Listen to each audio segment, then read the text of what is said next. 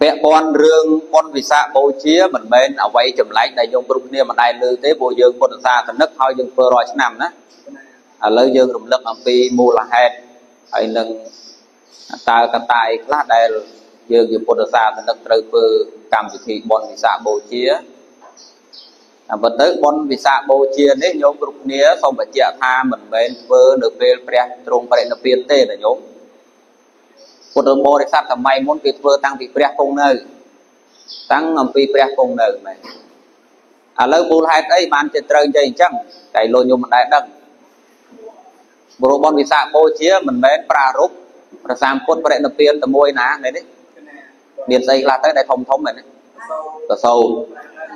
ហើយយើងគិតមើលប្រសូតគឺមុនព្រះអង្គត្រាស់ដឹងទៅទៀតហើយពេលដែលព្រះអង្គត្រាស់ដឹងគឺព្រះអង្គគង់នៅនឹងហើយមានទៅណាហើយនឹងបរិនិព្វានយើង យើងថា3ធំធំចោះពុទ្ធសាសនិកអំពីមុនគេមិនមែនប្រារព្ធបុណ្យវិសាខបូជាលុះតែព្រះបរិនិព្វានទេ ការបរិនិព្វានរបស់ព្រះគ្រាន់តែជាហេតុមួយដែលគេចាប់បញ្ចូលតើនៅក្នុងសម័យដែលព្រះអង្គគង់នៅគឺគេបានធ្វើបុណ្យវិសាខបូជាហ្នឹងប្រារព្ធនៅហេតុពីរទី1ការកើតឡើងគឺការប្រសូតហ្នឹងណាព្រោះការកើតរបស់ព្រះគឺចាត់ទុកថាមានពីរបែបទី1កំណើតជាតិប្រសូត ដល់ពេលការកើតមួយបែបទៀតកើតជាព្រះអរហន្តមែនទេពួកព្រះអង្គកើតមកដំបូងដូចញោមរាល់គ្នាអញ្ចឹងជាសាមញ្ញជនមានគ្រួសារអញ្ចឹងចាត់ទុកថាមិនទាន់ជាសំណាងដល់សត្វលោកទេលោកតែថ្ងៃត្រាស់ដឹងកើតឡើងបានគេចាត់ទុកថាមានការកើតឡើងម្ដងទៀតគឺការកើតឡើងនៃពុទ្ធអញ្ចឹងណា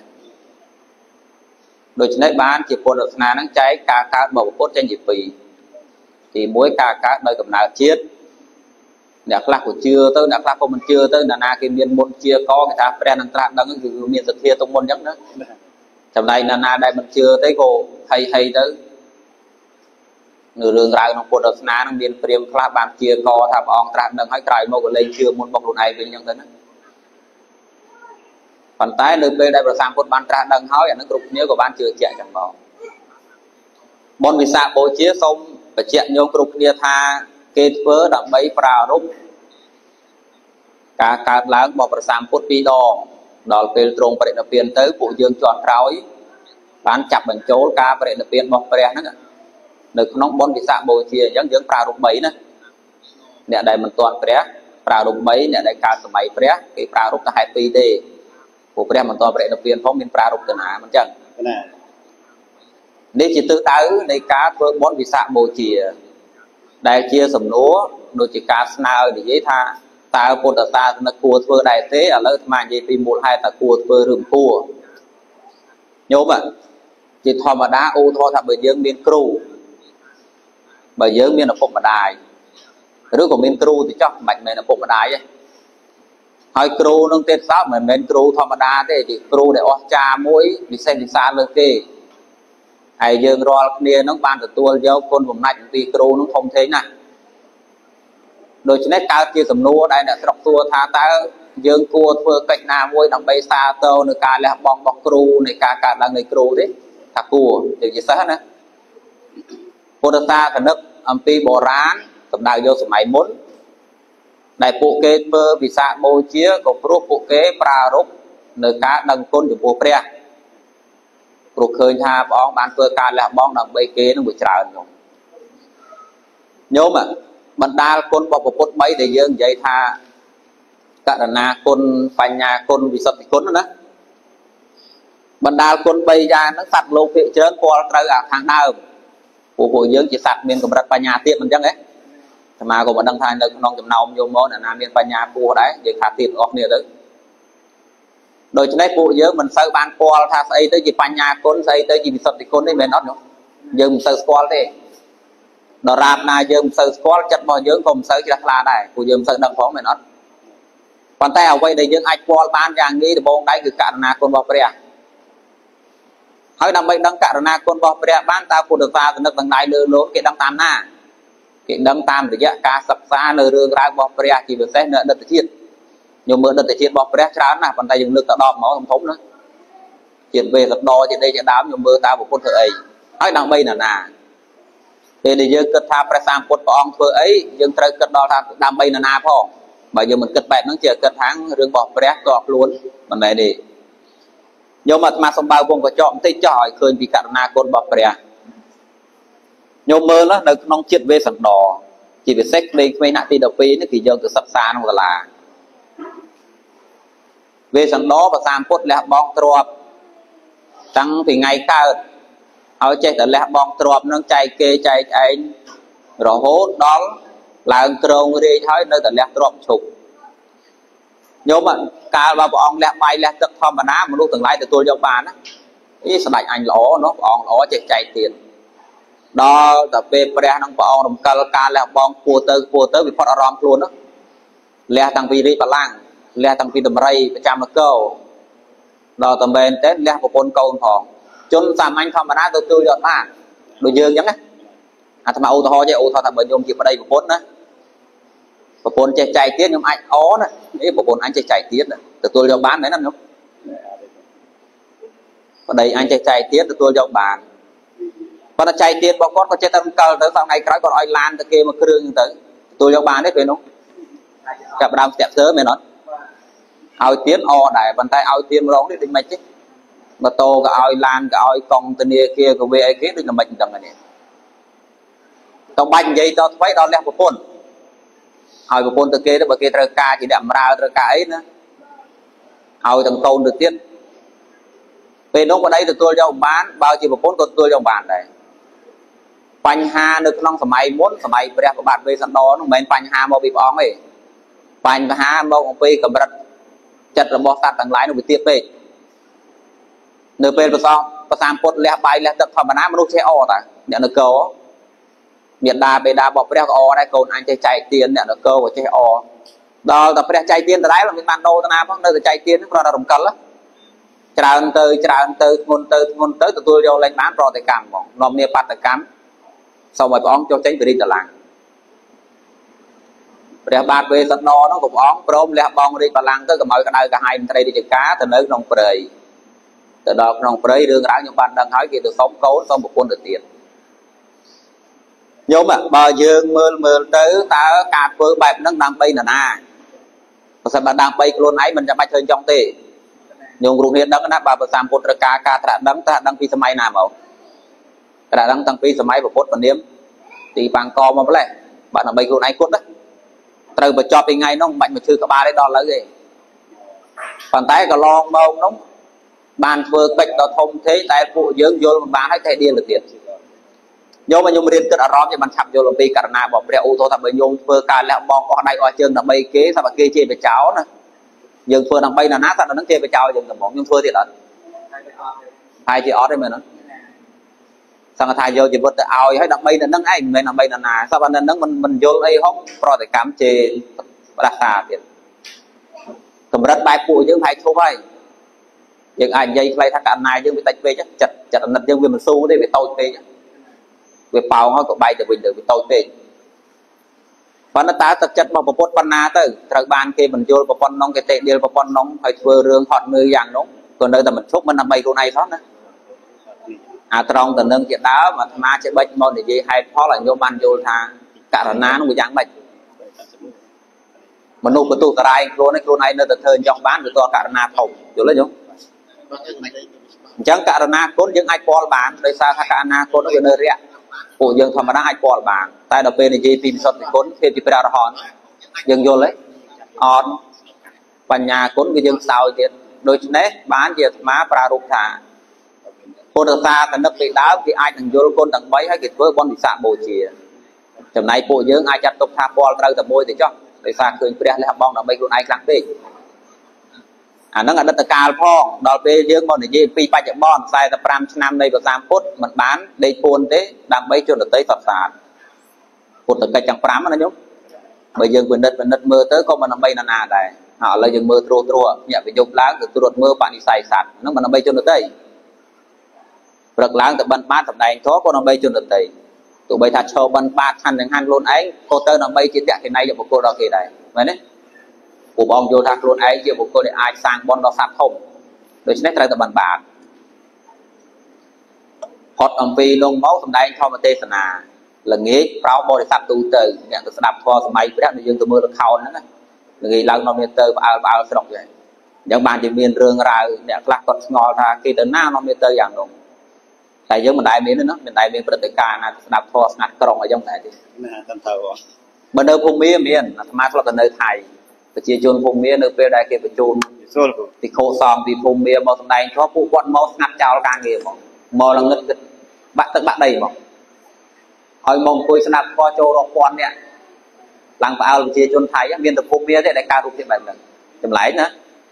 ថៃយើងពុទ្ធសាសនាក៏អត់ម៉ែយើងក៏អត់ឡាវក៏អត់ព្រោះប្រទេសចំណាត់ថ្នាក់ផាត់ត្រាច្រើននេះគេនោះវាមិនអាចទៅកើតរូបភាពក្នុងកើតហើយចំណែកប្រជាជនភូមិមានមានរូបភាពដូចសម័យព្រះអញ្ចឹង ចោលការងារចោលអីទាំងអស់ចោលបាយចោលទឹកមកជុំគ្នាបែបនោះធ្លាប់មានអានោះគាត់លើកជាតួយ៉ាងយកមើលថាសម័យព្រះល្ងាចឡើងព្រះអង្គម្ដែងធម៌ប្របបរិស័ទដល់ពេលក្បាលបលុកយប់បន្តិចសម្ដែងធម្មទេសនាដដែលហ្នឹងជាអវាទផងប្រោះវិខោម្ដងវិខោវិខោនៃហើយយប់ជ្រៅប្រោះអមនុស្សម្ដងអញ្ចឹងបានជាមានកម្ពីក្នុងពុទ្ធសាសនាហ្នឹងមានទេវតាសង្យុត្តព្រហ្មសង្យុត្តសម្រាប់ឃើញពាក់ព័ន្ធនឹងរឿងគំនិត ដែលពាក់ព័ន្ធនឹងរឿងអមនុស្សណាទេវតាគេសួរពីអីព្រមទាំងឡាយនេះគេសួរពីអីហើយពួកគេសម័យនោះគេមកប្រស័យនឹងព្រះសម្ពុទ្ធគេចាត់ទុកថាដែលគេមកនោះដូចមានក្របពេជ្រមួយដែលវាជ្រុះក្នុងភក់អញ្ចឹងណាដូច្នេះដែលគេមកគេមករើសតែក្របពេជ្រហ្នឹងទេតែផុតកិច្ចហ្នឹងគេទៅវិញហើយគេមិនដែលមកប្រស័យអីជាមួយយើងមករវល់អីនឹងយើងទេតំណាស់តែយើងទេសប្តាហ៍ថ្ងៃហ្នឹងគឺរវល់តែរឿងហ្នឹងអានេះគ្រាន់តែលើកត្រួសត្រាថា សំបីតែប្រសាមពុទ្ធព្រះអង្គគង់នៅក៏45ព្រះប្រសាហ្នឹងដើម្បីជនដតីដែរពុទ្ធសាសនិកសម័យមុនដែលគេធ្វើបន់វិសាបូជាក៏ព្រោះគេដើម្បីធ្វើការសាទរតបនៅការលះបង់របស់ព្រះដែលជាករណាគុណរបស់ព្រះម្យ៉ាងធម្មតាសិស្សមានគ្រូបើសិនបើសិស្សមិនធ្វើអីសោះដូចមិនតំណងមែនអត់ញោមឥឡូវយើងកុំទាន់និយាយថាគ្រូមានគុណម៉ាច់ធំឬអត់ ប៉ុន្តែយើងមានគ្រូឲ្យយើងរៀនរាប់ឆ្នាំមិនដែលធ្វើកិច្ចអីមួយសោះដើម្បីគ្រូអញ្ចឹងតំណងទេអត់ទេណាអត់តំណងទេយើងកុំទាន់និយាយថាគ្រូយើងពិសេសឬមិនពិសេសអីយើងនិយាយថាយើងរៀនមួយគ្រូ10ឆ្នាំធ្វើកិច្ចអីមួយពាក់ព័ន្ធទៅគ្រូមានមកសាលាណាតើត្រូវតំណងទេអត់ទេដូច្នេះយើងជាសិស្សមានគ្រូត្រូវតែធ្វើនៅកម្មវិធីខ្លះដើម្បីសាទរគ្រូ ដល់ពេលយើងក្រោយក្រោយចំនួនពួកយើងនេះប្រទេសដទៃមិនមែនតែយើងទេពិភពលោកក៏គេធ្វើវិសាបូជាដែរមិនដឹងថាពួកគេយល់យ៉ាងម៉េចទេប៉ុន្តែរឿងមួយដែលយើងដឹងទូទៅដែលគេប្រកាសថាជាជាសាធារណៈគេយល់ថាប្រសាមពុទ្ធជាបុគ្គលឆ្នើមចាត់ទុកថាជាបុគ្គលឆ្នើមមួយនៅក្នុងសង្គមលោកជាអ្នកនាំមកសន្តិភាពដល់ពិភពលោកបងណាញោមសាសដតីដតីដែលគេមិនមែនជាពុទ្ធសាសនាសាសនាស្និទ្ធស្នាលណាគេនាំគ្នាធ្វើបុណ្យវិសាខបូជាព្រោះគេ សាទរការកើតឡើងនៃបុគ្គលនាំមកនូវសន្តិភាពគាត់ណាចំណែកពួកយើងលើសពីនឹងពួកយើងជាពុទ្ធសាសនិកចាត់ទុកថាជាកូនក្នុងគ្រួសារយើងមិនមែនធ្វើព្រោះប្រារព្ធហេតុប៉ុណ្ណឹងទេមកពីយើងទទួលគុណអំណាចរបស់ព្រះយើងដឹងគុណម្យ៉ាងយើងជាសិស្សមានគ្រូត្រូវតែធ្វើកិច្ចសំគួរដើម្បីគ្រូតោះណាញោមហើយក៏ដើម្បីស្របជាមួយនឹង សាធារណជនលើលោកដែលគេធ្វើបុណ្យវិសាខបូជាប្រារព្ធនៅបុគ្គលឆ្នើមដែលបាននាំមកនូវសន្តិភាពដល់លោកលក្ខណៈខុសគ្នានៃបុណ្យវិសាខបូជាសម័យមុនហើយនិងសម័យយើងខុសគ្នាត្រង់ណាខុសគ្នានៅត្រង់ថាសម័យនោះគេធ្វើប្រារព្ធហេតុតែពីរទេមានតែរឿងសាទរមកដល់យើងមានរឿងពិបាកចិត្តលីផងហេតុអីពួកកាលណាធ្វើបុណ្យនឹងនឹកដល់រឿងអីព្រះព្រះនិព្វានមែនអត់ អញ្ចឹងវាយើងវាលេឡំជាមួយនឹងសោកសៅផងលេឡំជាមួយនឹងកិច្ចសាទរផងមែនទេអឥឡូវយើងលើកសាទររឿងអីសាទររឿងព្រះកើតសាទរមួយបន្តមកសាទររឿងអីសាទររឿងព្រះត្រាស់ដឹងពីរណាដល់ពេលដល់កិច្ចចុងក្រោយធម្មទេសនាលោករៀបរាប់រៀបរាប់ទៅព្រះបរិនិព្វាន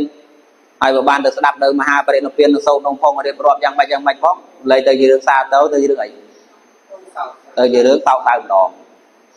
អញ្ចឹងប្រហែលជាវិសាបូជារបស់យើងផ្លូវអារម្មណ៍ចំនួនពួកយើងនឹងខុសពីសម័យមុនណាសម័យមុនគេមានតែរឿងសាទរទេអញ្ចឹងបានអាត្មាប្រាប់ញោមថាបុណ្យវិសាបូជាគេធ្វើតាំងពីព្រះគង់នៅពួកយើងក្រោយក្រោយនេះបានរាប់បញ្ចូលនៅការប្រណិពាននឹងច្រកទៅក្នុងកិច្ចទីទៀតដូច្នេះក៏មានអារម្មណ៍សោកសៅលេខ្លះដែរប៉ុន្តែណាហើយយើងយើងប្រើរូបហេតុពីរខាងដើមវិញដើម្បីដើម្បីចិត្តនឹងវាស្រស់ថ្លាណា គឺសាទរប្រសាមពុទ្ធកើតឡើងលើលោកនឹងត្រាស់ដឹងពិភពលោកប្រទេសដទៃដទៃក៏យ៉ាងដែរញោមគេបដោតទៅលើការកើតរបស់របស់ពុទ្ធទេគេមិនបានប្រារព្ធទៅលើហេតុបងប្រេណពៀនទេគ្រាន់ទេញោមមើលប្រទេសណាក៏ដោយដែលគេធ្វើវិសាបូជា គេនឹងប្រារព្ធនៅមូលហេតុមួយដល់ចម្បងគឺថាម៉េចគឺជាការសាទរចំពោះបុគ្គលឆ្នើមបុគ្គលឯក ជាបុគ្គលកម្ពូលមួយដែលបាននាំមកនូវសន្តិភាពដល់ពិភពលោកហើយដែលបន្សល់នៅទ្រឹស្ដីបន្សល់នៅមេរៀនដល់សន្តិភាពឲ្យពិភពលោកគាត់ណាញោមគេបានគេបានទៅនិយាយពីរឿងបងប្អូនភាពទេណាគេប្រារព្ធតែរឿងនឹងទេតាតោដូច្នេះបើនិយាយក្នុងផ្លូវអារម្មណ៍ត្រូវឲ្យត្រឹមត្រូវបំផុតបនវិសាបូជាមិនត្រូវសោកសៅទេព្រោះរឿងបរិនិព្វានរបស់ព្រះយើងដឹងហើយថាសង្ខារវាតែប៉ុណ្្នឹង នេះគឺជាមូលហេតុនៃការធ្វើបុណ្យវិសាខបូជាឥឡូវនិយាយពីរបៀបធ្វើតើយើងធ្វើមិនទៅញោមការធ្វើការបូជាចំពោះគ្រូមួយមិនត្រូវដើរសួរកិច្ចនឹងចំពោះគេថាខ្ញុំត្រូវធ្វើម៉េចទេគឺត្រូវសួរខ្លួនឯងថាតើខ្លួនឯងមានអារម្មណ៍បែបម៉េចឆ្លើយតបចំពោះគ្រូដូច្នេះបើយើងជ្រះថ្លាប្រពន្ធណាយើងយល់ថាគ្រូរបស់យើងមានតម្លៃប្រពន្ធណាយើងធ្វើប្រពន្ធនោះញោមមិនមែនធ្វើតាមគេទេពួកបើយើងធ្វើតាមគេ អាទំនៀមទម្លាប់ឬជំនឿវានឹងធ្លាក់ចូលមកញោមពិធីបន់ខ្លះប្រើរូបប្រើរូបកិច្ចរបស់ព្រះទាំងមូលប៉ុន្តែពិនិត្យពិនិត្យមើលទៅជំនឿប្រពៃណីខ្មែរនៅក្នុងនោះវិញអត់ត្រូវរឿងសោះទៅធ្វើស្អីដែលមិនមែនជាបន់វិសាបូជាប៉ុន្តែចាប់កញ្ចក់នៅក្នុងវិសាបូជាពិភពលោកប្រទេសខ្មែរយើងនៅតែថ្ងៃវិសាបូជារំធំបាសទៀតតើមែនទេ ព្រោះឥឡូវហ្នឹងការរំធំបាសការផឹកស្រាហ្នឹងជ្រៀតចូលក្នុងប៉ុនខ្ញុំមិនឃើញណាប៉ុនសាក់សពម្ដាយក៏រំបានដែរមែនទេប៉ុន7ថ្ងៃក៏រំធំបាសបានប៉ុនអីក៏រំធំបាសបាននៅតែប៉ុនសាសនាមួយទេដែលមិនអាចយកទៅរំធំបាសបានវិសាបូជាមួយបូជាសាលៈបូជាប៉ុន្តែប៉ុនផ្សេងទីនេះហ្នឹងប្រើរូបការកសាងក៏រំធំបាសបានដែរបច្ចុះសីមាឆ្លងវត្តបច្ច័យ4កសាងសមិទ្ធផលឃើញត្រាក៏ចូលធំបាសក៏ចូល លបែងក៏ចូលនៅតែបនសាសនាធំធំនឹងទេដែលមិនអនុញ្ញាតដូច្នេះបានជាអាត្មានិយាយប្រាប់យោមថាប្រសិនបើសួរថាតើបនវិសាខបូជាក្តីនិបូជាក្តីអសាលបូជាក្តីតើយើងគួរធ្វើបែបណាគឺត្រូវសួរខ្លួនឯងតើខ្លួនឯងមានអារម្មណ៍បែបណាឆ្លើយតបចំពោះគ្រូហើយធ្វើបែបនោះទៅបើយើងដើរសួរគេមុខជាគេមានក្បួនដាក់មកត្រូវធ្វើអញ្ចឹងអញ្ចឹងយូរយូរវាខ្លាយទៅជា ទំនៀមទម្លាប់ជំនឿមួយដែលខ្វះហេតុផលគ្រាន់តែខ្ញុំហើយមានរឿងដែលផ្សំគួរជ្រៀតចូលទៅដូច្នេះបទវិសាខបូជាក្នុងថ្ងៃហ្នឹងយើងធ្វើកិច្ចអីខ្លះទៅឥឡូវស្មាឆ្លោយចំនួនយើងរកគ្នាចុះទី1យើងសន្តានាធម៌ទី2សេះសល់ពីហ្នឹងត្រៃលោពេលយុគខ្ញុំទៅវត្តណាក៏បានយើងធ្វើការបូជាប្រតិបតែប៉ុណ្្នឹងទេហើយក៏សន្តានាធម៌អត់មានកិច្ចអីធ្វើលើពីហ្នឹងទេយល់ណាមានតែសន្តានាធម៌មានតែ បូជាបន្តិចប្រតិសិនដូចមិនមានអីត្រូវធ្វើលើហ្នឹងទេស្អីក្រៅពីហ្នឹងដូចមិនដែរដូចដូចដូចមិនឃើញថាគួរធ្វើណាក្រៅពីនោះមានទេយើងមានតែកិច្ចពេកទេសន្តានាធម៌ហើយនឹងបូជាបតិបតិសិនសោតធម៌នមស្ការឬក៏សន្តានាតែប៉ុណ្្នឹងទេណាដូច្នេះនៅក្នុងពេលហ្នឹងឈ្មោះថាយើងកំពុងធ្វើបុណ្យវិសាបូជាមួយហើយនេះពួកកិច្ចនៅក្នុងកិច្ចកម្មវិធីហ្នឹងគឺការសន្តានាធម៌អញ្ចឹងណា សាសនាយើងទៅសារការរៀនសូត្រមិនស្គាល់យប់ថ្ងៃទេមិនស្គាល់ទីឋានទេការរៀនសូត្រសាសនាយើងក៏សារការរៀនសូត្រមិនស្គាល់ទីឋានទេមិនស្គាល់យប់ថ្ងៃទេទីណារៀនបានរៀនទីហ្នឹងដូច្នេះយើងបានទៅវត្តអនចិត្តណាញោមគេលោនណាមួយបុកសធាទៅនោះបាត់ហើយតែបានទៅអញ្ចឹងណាអញ្ចឹងមកនៅត្រឹមហ្នឹងដេសានោះម៉ូតូឡានច្រើនពេកតន្ត្រីមិនកើតទេឥឡូវស្មាមិនចង់និយាយវិញឆ្ងាយទេព្រោះគាត់ថាញោមមកគ្រប់គ្នាមកដើម្បីសួរទេអញ្ចឹងទៅឲ្យឲ្យសួរវិញ អាចអាចសួរនាំបានណាញោមត្រូវការសួរនាំអីទេសួរបែបកំណត់កន្លែងណាដែលមិនយល់អញ្ចឹងណាកណាកណាអរគុណលោកចាស់ទៀតដែលបានបកស្រាយជាពិសេសបើបបកថាតកតងនឹងវិសាកម្ពុជាដែលក្នុងនោះខ្ញុំកណាចាប់អារម្មណ៍តកតងថាវិសាកម្ពុជាហ្នឹងមិនមែនប្រពតាប្រពុតលោកបរិនិព្វាននោះទេ មានន័យថាប្រពតាំងពីសម័យដែលប្រពុតគង់នៅម្លេះអញ្ចឹងណា ប៉ុន្តែគណៈក្នុងថ្ងៃហ្នឹងដូចជាមិនមានមានពាក្យថាគេថាពាក្យវិសាកម្ពុជាអញ្ចឹងវាអត់មានលិសូពាក្យអញ្ចឹងប៉ុន្តែមានតែការជួបជុំសន្ទនាធម៌ឬក៏ការដែលអឺព្រះពុទ្ធឬក៏ព្រះសម្មាសម្ពុទ្ធលោកទៅប្រោះអញ្ចឹងទៅហើយមានអ្នកដែលមានចម្ងល់មានអីសាកសួរអញ្ចឹងឃើញតែអញ្ចឹងប៉ុន្តែកម្មវិធីដោយដែលលោកម្ចាស់លើកឡើងដែលរៀបចំតាមបណ្ដាវត្តនីមួយៗហ្នឹងគឺมันមានទេកណាដូចអត់ដែលដែលឃើញកណាដែលដឹងណាកណាឬក៏យើងរៀនមិនតាន់ដល់អញ្ចឹងបានលោកចាស់បានប្រព្រឹត្តបំភ្លឺកន្លែងហ្នឹងមិញហ្នឹងក៏ បានទទួលចំណេះដឹងថ្មីនឹងមួយទៀតកណាហើយអរគុណមែនទែនហើយក្នុងនោះក៏កណាចាប់អារម្មណ៍ទៅលើតកតងនឹងប្រតិភិនអឺមានមានន័យថាលើពិភពលោកនេះដែលបុណ្យវិសាខបូជានេះត្រូវបានអង្គការសហវិជាតិប្រជាជាតិលោកទទួលស្គាល់ថាជាបុណ្យសកលណាបុណ្យសកលហើយក្នុងបណ្ដាប្រទេសជាច្រើនលោកម្ចាស់បានលើកឡើងថាភាគច្រើនគេប្រពទៅលើការកើតឡើងនៃបុគ្គលដែលបង្កើតនូវសន្តិភាព មានការប្រសូតហើយនឹងក្រាស់ដឹង ប៉ុន្តែការចូលទៅកាន់ព្រះនិព្វានហ្នឹងគេមិនសូវជាផ្ដោតអារម្មណ៍ខ្លាំងមិនចឹងទេណាប៉ុន្តែក្នុងកម្មវិធីក្នុងថ្ងៃហ្នឹងគឺត្រូវតែជាថ្ងៃពិសេសដែលប្រពយកនៅចំណុចសំខាន់សំខាន់3 3កន្លែងហ្នឹង3កន្លែងកណាអញ្ចឹងអរគុណទៀតអត់លឺបាទកណាអរគុណអញ្ចឹងឥឡូវជាសំណួររបស់ខ្ញុំកណាបងប្អូនយើងប្រហែលជាមានសំណួរដែរបងបើមានសំណួរចាំសួរលោកចាស់ជួបតលបាញ់គិតទៅហើយបាទហ្នឹងហើយ អឺសំណួរខ្ញុំកណាសួរតាក់ទងនឹងវីសាកម្ពុជានឹងតែម្ដងទៀតអឺជាពិសេសគឺថ្ងៃដែលព្រះអង្គទ្រង់ប្រសូតឬក៏ព្រះអង្គកើតឡើងនៅក្នុងលោកណាដែលជាសំណួរគេសួរច្រើនដែរហើយចម្លើយក៏មិនទាន់បានច្បាស់លាស់នៅឡើយដែរតាក់ទងទៅនឹងការប្រសូតរបស់ព្រះសទ្ធត្ថៈហ្នឹងហើយឈ្មោះជាព្រះសទ្ធត្ថៈព្រះពុទ្ធព្រះបរមគ្រូយើងហ្នឹង គឺដូចជាថ្ងៃសុក្រខែពិសាបាទឆ្នាំចបាទឆ្នាំចនឹងថ្ងៃប្រសូតប៉ុន្តែអ្វីដែលខ្ញុំមិនណាឆ្ងល់នោះគឺថានៅពេលដែលលោកប្រសូតមកហើយអឺអាចគេថាអាចមានអត្តពលឬក៏មានរិទ្ធអំណាចឬក៏បដិហាកើតឡើងដែល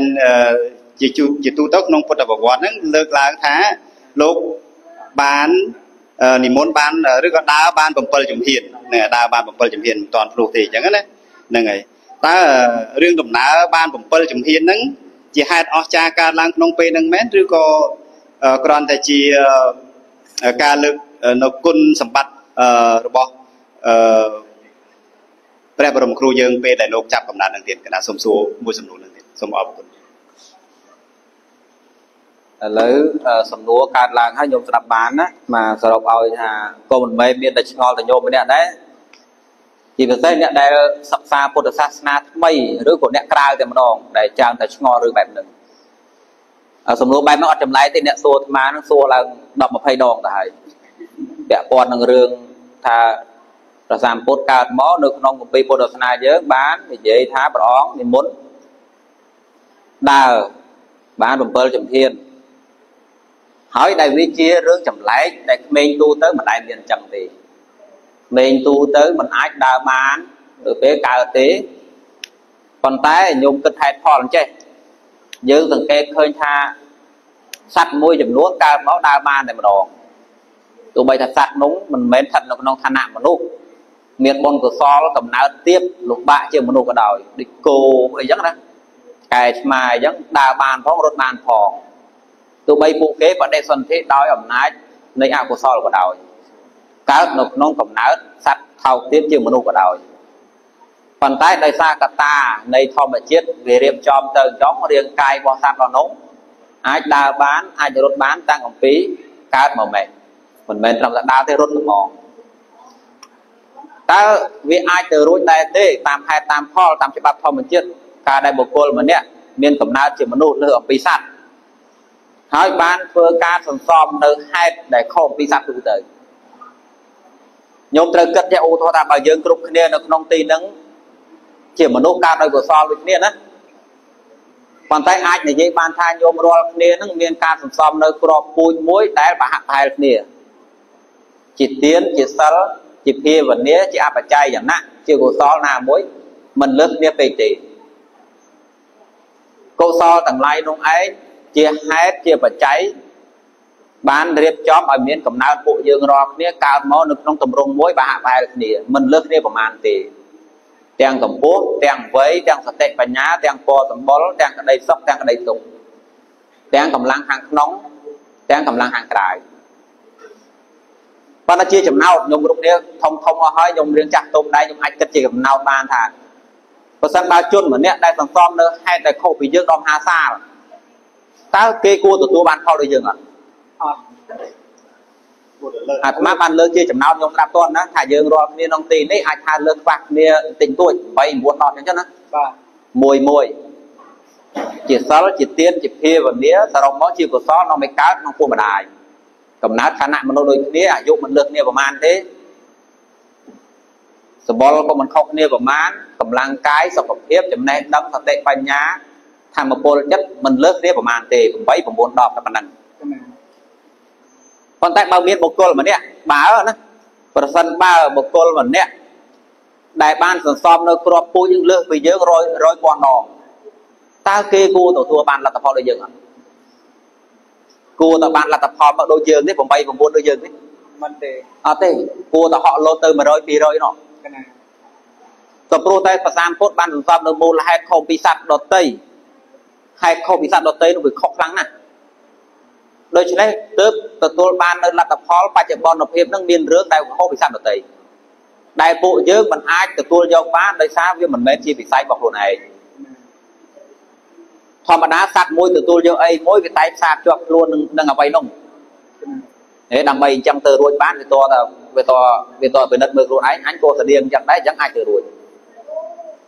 បើដល់ពេលខ្លួនមិនមានសោះហើយទាញយកខែដែលដែលខ្លួនមិនធ្លាប់មានមកដាក់ទទួលយកអត់បាន មិនមែនតែប៉ុណ្្នឹងអាស្មាថែមឲ្យទៅបើតាមពុតកើតមកដើរបាន មានវិចារនិយាយបានពលឺកាយមានតបល់ស្ដាប់ដូចញោមទេណាមែនទេហើយកម្លាំងកាយខុសអំពីបរោះទូទៅកម្លាំងលើតម្រៃផងមែនទេមែនឬមែនខ្ញុំរឿងរ៉ាវច្រើនផ្លែកទេកម្លាំងលើពីតម្រៃផងសបល់កាយលើសពីយើងរាល់គ្នាសំបីតែថ្មិចហ្នឹងក៏ខុសដងខ្លួនក៏ខុសពីគេកពោះកពោក៏ខុសពីគេ សតិបញ្ញាក៏ខុសពីគេយើងយើងលើកអស់មកនិយាយបានហើយក៏ដើរបានទៀតផងសួរហេតុអីបានជាបុគ្គលគឺបុគ្គលនេះបុគ្គលបញ្ញត្តិមួយរូបនេះមិនគាត់ឯងខុសគេចម្លើយយ៉ាងនេះមកពីបុគ្គលដោយព្រះអង្គនឹងសំហេតុខុសគេបើយើងឬប្រសិនបើយើងរាល់គ្នាបានសន្សំហេតុបែបនោះអត់មានអីចម្លែកទេដូច្នេះបើយកព្រះតាមពុទ្ធទៅធៀបនឹងព្រះតាមពុទ្ធទាំងឡាយពួកលោកមានអីចម្លែកអាត្មានិយាយដោយ លើទីចឹងឧទាហរណ៍ថាបើខ្ញុំជាពុទ្ធហើយបុគ្គលម្នាក់ទៀតជាពុទ្ធតែអ្នកទាំងអស់នឹងទទួលយកវាបានទេទទួលយកបានមានអីចម្លែកប៉ុន្តែពេលពួកយើងវាមិនដែលសន្សំហេតុបែបនោះចម្លែកទេដូច្នេះគ្មានលទ្ធផលណាមួយដែលត្រូវដោយតាមពុទ្ធទេអាត្រង់តំណងហើយដែលយើងទទួលយកបានប៉ុន្តែធម្មជាតិនឹងអាចទៅរួចថាអាចទៅរួចខ្ញុំគិតហេតុផលសំបីតសត្វថោកទៀបដូចគោក្របីអញ្ចឹងជាសត្វដែលមានតបាបកម្មសោះ មិនគោមិនគោធម្មជាតិនឹងអាចចាត់ចែងឲ្យកើតមកអាចរត់បានហើយបុគ្គលប្រហែលព្រះលើសពីមនុស្សផងមិនក៏ធម្មជាតិនឹងចាត់ចែងរាងកាយឲ្យមានកម្លាំងប្រហែលនឹងបានមិនក៏ធម្មជាតិនឹងអាចទៅរួចជាមួយគោក្របីតែមិនទៅរួចជាមួយបុគ្គលដែលជាមនុស្សមានបុណ្យកុសលមិនក៏ទៅរួចបើរឿងនឹងទៅមិនរួចទេវតាទៅមិនរួចទេទេវតាមានមកពីណាឯងកើតក្នុងកំណើតសួរយ៉ាងម៉េចអាយុវែងយ៉ាងម៉េចមានពលឺជាប់កាយយ៉ាងម៉េចបើទេវតាទៅមិនរួចព្រមក៏ទៅមិនរួច បើទេវតាទៅមិនរួចព្រមទៅមិនរួចពុទ្ធិកាក្នុងបត្រៃម្ដងក៏ខុសទាំងអស់អ្នកទទួលយកទៅអីទៀតមែនទេ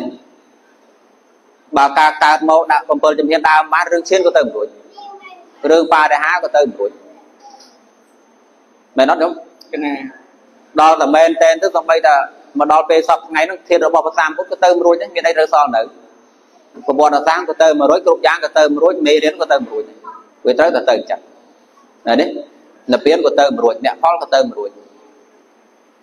បញ្ហានៅត្រង់ថាទី1ពួកយើងវាអត់មានអាសារជាតិនោះវាអត់មានអាស័យដែលក្តៀមណា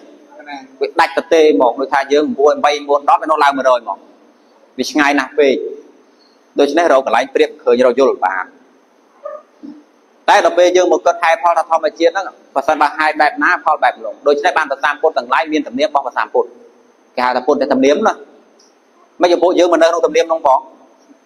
មិនមិនគុំថែខ្មែរទំនៀមមនុស្សទូទៅទំនៀមទៅអត់ទំនៀមរបស់ពុទ្ធនិយម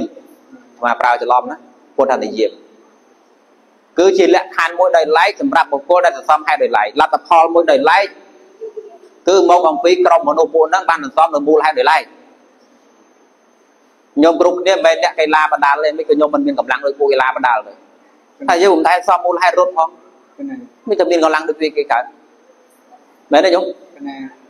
មិនក៏ខ្ញុំមិនកើតអ្នកប្រាយគ្រប់គ្នាទៅបើកើតតែពីពុំម៉ែដូចតែគ្នាអញ្ចឹងតែបើយើងមិនតែរៀនផងទៅកើតអ្នកប្រាជ្ញ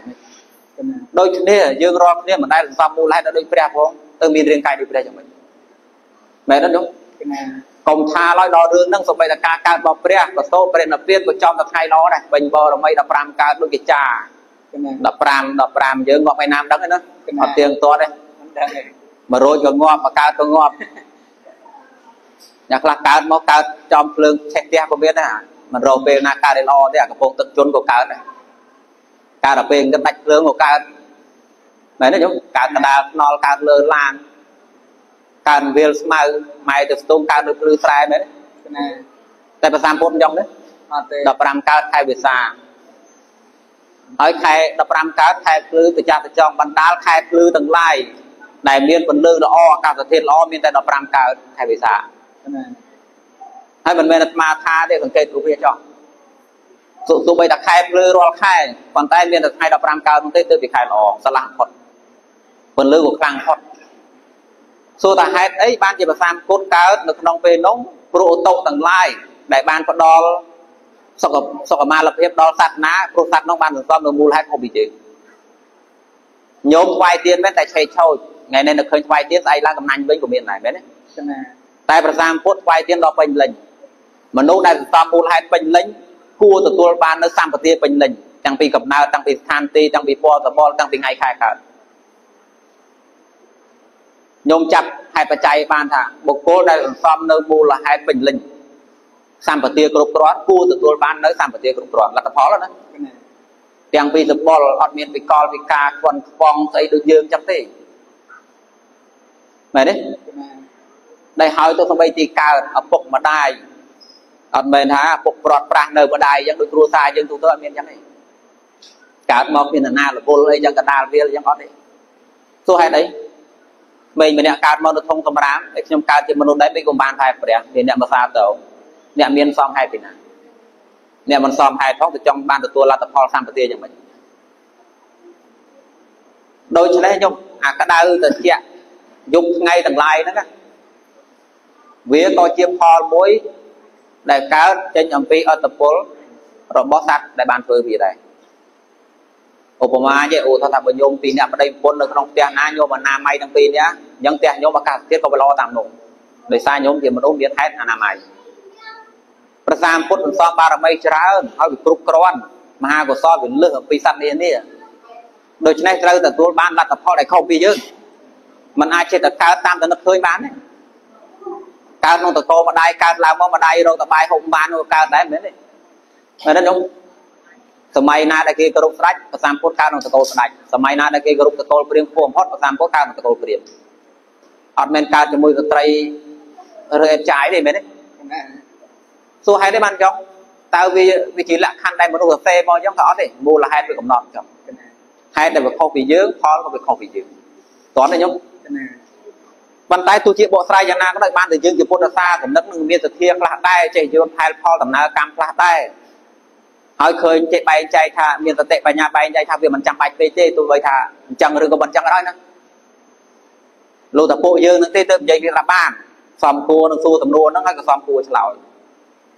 តែសម្រាប់ជនដែលខ្វះការសិក្សាមានការយល់ដឹងសទ្ធាគ្មានផង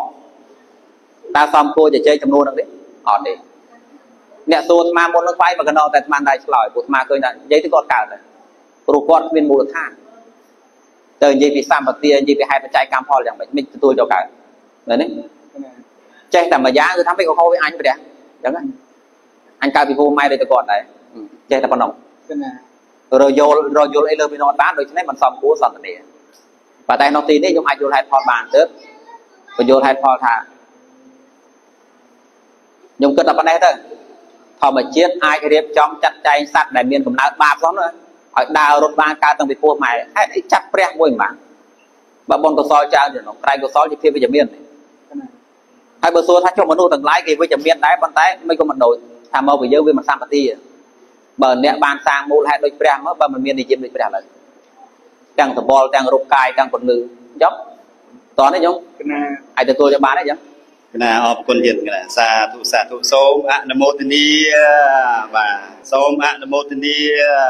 ហ្នឹងហើយគណៈសូមអរគុណមែនតើគណៈជួបរបស់ពិតណាពេលនេះជួបរបស់ពិតហ្នឹងហើយអឺមែនតើនៅចម្ងល់នេះអឺយើងអាចអឺយល់ហេតុផលបានខ្លះក៏នៅវាមិនច្បាស់ប្រហែលទេប៉ុន្តែនៅពេលដែលលោកម្ចាស់បានផ្ដល់ចម្លើយបន្ថែមទៀតបាទតកតងទៅនឹងសំណួរនេះព្រោះដោយលោកម្ចាស់អឺមានធរណីកាអញ្ចឹងគឺសំណួរនេះមានគេសួរច្រើនណាស់អឺ ជាពិសេសអ្នកដែលជួនកាលយើងអឺឲ្យគាត់រៀនធរឬអីហ្នឹងឬសូត្រធរអីហ្នឹងគាត់កវីក្បាលតតាត់តែហ្មងបាទដូចដូចដែលដូចច្រាំងតិចអញ្ចឹងណាបើតែបងប្អូនអញរៀនធររៀនធរលេចធ្វើអីមិនដោយអញ្ចឹងលេចធ្វើអីមិនដោយអឺបាទដូចនេះដូចបងអូនបងអូនដែលក្នុងធម្មមិត្តហ្នឹងមានមិត្តភក្តិក្មេងៗអញ្ចឹងដែរប្រមូលដែរឬសូរៀនធរនឹងមើលមុខហ្មងមើលមុខហ្មងអីសូចង់កាត់កាលចោលទៀត រៀបធ្លាប់ស្គាល់គ្នាចង់កាត់កាលចោលទៀតអញ្ចឹងមែនតើទៅដោយលោកចាស់លើកឡើងអញ្ចឹងពេលខ្លះដល់គាត់មាននិស័យខ្លះដែរអញ្ចឹងណាទើបគាត់អាចទៅបានហើយគាត់អាចយល់បានប៉ុន្តែបើសិនជាគាត់មានឧបនិស្ស័យឬក៏គាត់មានហេតុជាខាងដើមល្អខ្លះទេ ការបវល់ការប្រាប់ការដឹកនាំហ្នឹងបបាអះបាទតឹងណាដូចអូសឫស្សីបញ្ច្រាស់ចុងអញ្ចឹងហ្នឹងហើយពិតជាបបាប៉ុន្តែសូមអរគុណមែនទែនសម្រាប់ការបកស្រាយរបស់លោកម្ចាស់អមិញមិញនេះ តកតងនឹងមានហេតុហើយនឹងផលអញ្ចឹងហេតុដែលព្រះអង្គលោកដើរបាន7ជំហានហ្នឹងវាអត់ជាហេតុចម្លែកទេ